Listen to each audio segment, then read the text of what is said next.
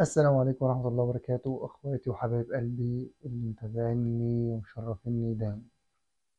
كنت حابب بس طلع كده أعقب على كام تعليق كده بيقولوا كتير يعني بس أنا بصراحة بمسحهم يعني عشان خاطر بصراحة مستفزين شوية. والتعليقات بتقول يا جماعة؟ التعليقات بتقول أنت ما شاء الله كده يعني فترة قليلة كده جبت شقة وجبت عربية والعيشة معاك بقت فلالة أوي أوي يعني. فبصراحة كنت يعني الكلمتين دول مش عاجبيني خالص يعني. فطلع أعقب إن أنا إيه على الكلمتين دول يعني والتعليقات اللي بتجيلي دي. بص يا جماعة أنا بفضل الله يعني الحمد لله رب العالمين مفيش قرش من اليوتيوب دخل بيتي لحد دلوقتي. يعني الحمد لله طول عمري آه، معتمد على نفسي آه، بشتغل من صغري. الحمد لله محدش آه، له فضل عليا بفضل الله وحده. الحمد لله رب العالمين. فأنا بصراحة يعني ساعدت نفسي بنفسي وجوزت نفسي بنفسي والحمد لله الأمور مستقرة الحمد لله رب العالمين.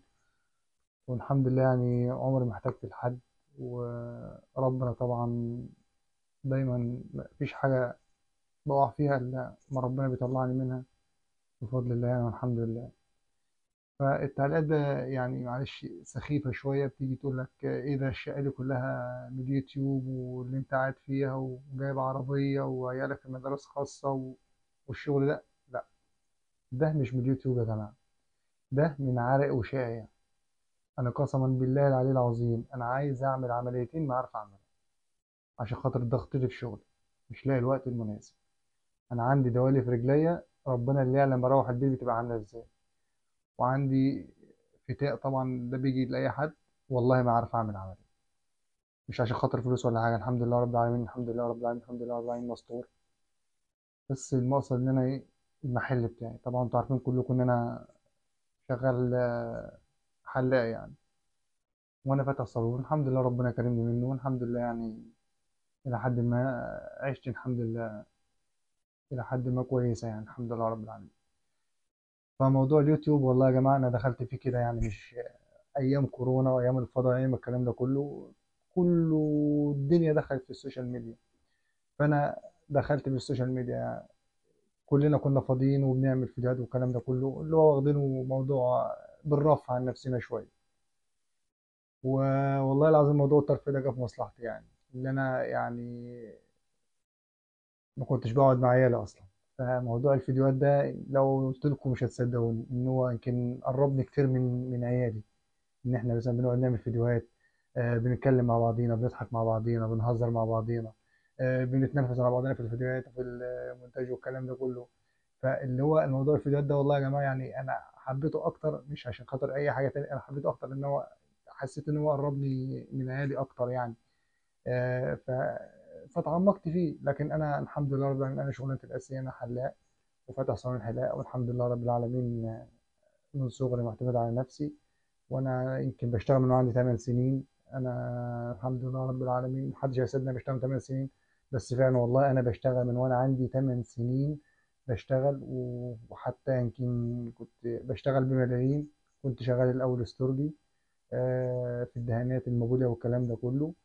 وبعد كده جالي حساسية على صدري فاشتغلت مع أخويا ليه أخ اشتغلت معاه حلاق هو اللي علمني يعني كان هو صاحب الفضل صاحب الفضل الله وحده هو اللي علمني وهو اللي وقفني على رجليا وفتح المحل يعني كتر خيره.